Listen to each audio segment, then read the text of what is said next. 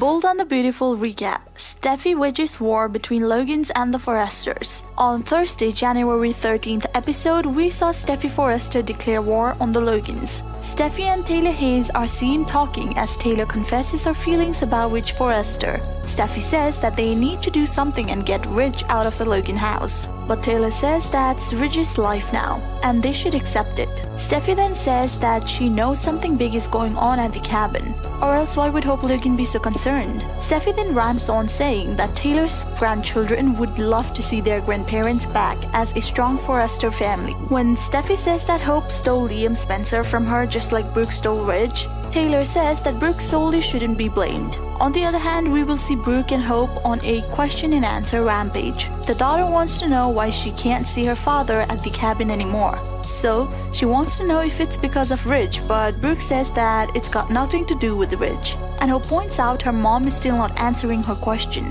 Hope wants to know what's wrong with Brooke. And once again, Hope wonders if Taylor's presence is giving her anxiety. Right then, Ridge comes in and then supports his wife. Both Hope and Ridge tell Brooke that she shouldn't feel guilty for what happened and they'll find out what triggered her. Special Lady.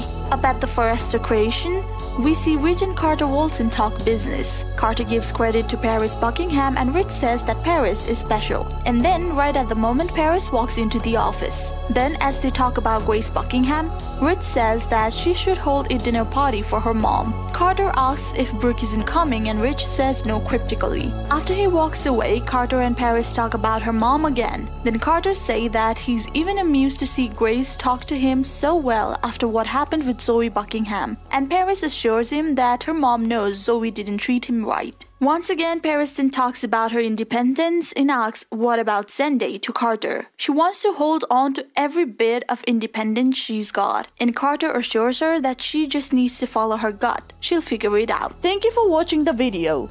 If you enjoyed the video, make sure to check some of our other videos. And we hope to see you again in the next video.